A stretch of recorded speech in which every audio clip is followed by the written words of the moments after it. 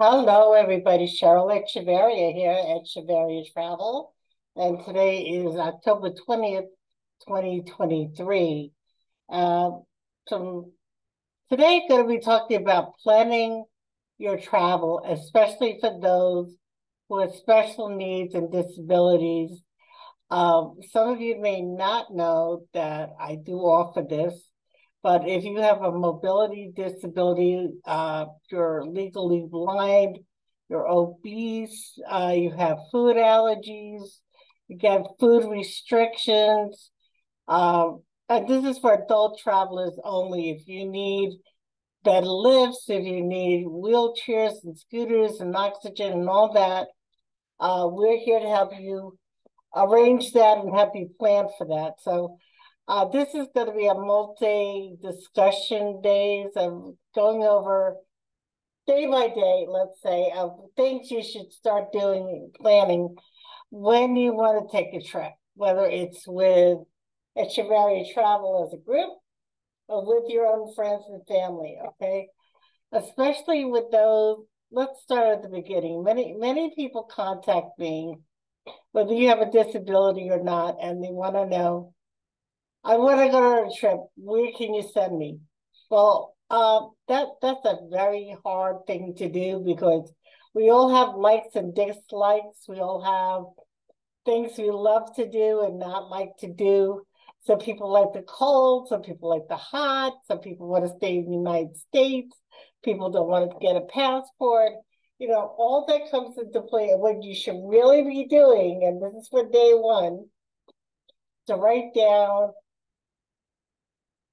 what kind of demographics you want, meaning is it international or here in the States? That's number one. Number two, what is your realistic budget? Because you've got to remember, it's air, it's you're uh, getting back and forth, whether it's Uber once you're on the ground or you're going to need other transportation, especially those of us with disabilities, make sure you have a van that's accessible no matter where you're going. Um, and what do you like to do? I mean, you know, some people just want to, I just want to go sit on a beach all day. Well, that's fine. Most of my clients like to go out and explore, try the food, see the local entertainment, you know, get involved with the locals. You're, they don't want to be treated as a tourist. They want to they want to, you know, get their hands dirty. They want to learn how to cook the food and where to eat the food and go to museums and historians. Maybe you have ancestors in that destination. And uh, I like to remind you when they say, oh, I want to go to the Caribbean, and I mentioned certain islands, there. their biggest thing is, well, I want to go to the Bahamas only, I don't want to go anywhere else. Well, there are a lot of islands in the Caribbean. Um, the Bahamas is not part of the United States, so remember, you need a passport to get there. Okay. So anyway, we're just on the day one of planning it out. And we can help you do that. Like, what do you really like to do? What would you really like to do? And don't put your disability there because we all know with the right tour guide and tour operators, you could do almost anything with and especially our obese clients as well, or those blind clients I have, even those with mobility issues. I mean, you need to know what your limits are for traveling. Okay, some people older, they just wanna, you know, just explore, see the town, see the museums, go out to eat, you know, hang with the family, whatever that it could be uh, or you want to go to the beach, but your wheelchair won't get you there. You know, we, we have many options for you if you need oxygen.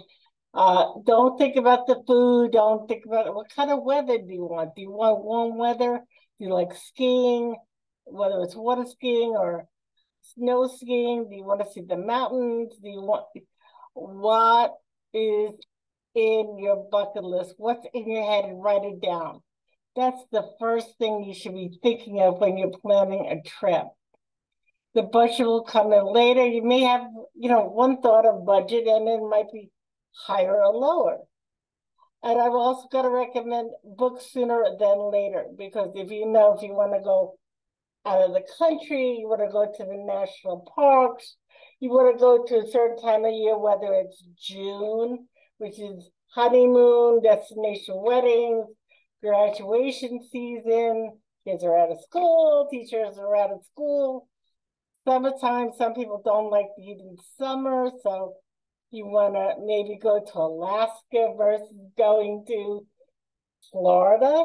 You know, there, there's other places to go in the world. You can go to Switzerland or New Zealand or or uh, Austria or other places around the world that you may not think of that you know and people think oh that's too expensive i can't afford that again let's sit down and talk about it because it might be affordable for you to do if you plan it out far enough and do payment plans i've always said that nelson and i don't go anywhere without doing a payment plan. Yes, I'm a travel agent. No, I don't travel for free. No, even if I got a discount somewhere, I still have to pay for my air, for ground transportation, for the excursions. You know, I might get a discount for selling that product, but I don't get, there's no such thing as a free ride anymore. And haven't been for at least over 20 years because travel agents like myself we have to work for what we earn, just like everybody else. If we want the benefits of of going someplace and offering something to our clients that we want to go, hey, we gotta we gotta work our butts off to get there. And remember, travel agents, we are small business owners. You may not see us brick and mortar anymore, but we're still here for you. Remember, I offer not only phone, but texting and emailing we also offer Zoom and Google and Skype chats as well for you. And if you have fans and family that want to join in, we could set up a group Zoom call. Or if you're local enough, I live here in Lake Wales and Polk County, and you know, if you have enough people that excuse me, that you'd like us to come and visit you and sit down and and do trip planning for you, we will do that as well. So remember, Echevarria Travel, 631-456-5394, 407-910-6469, reservations at echevarriatravel.com.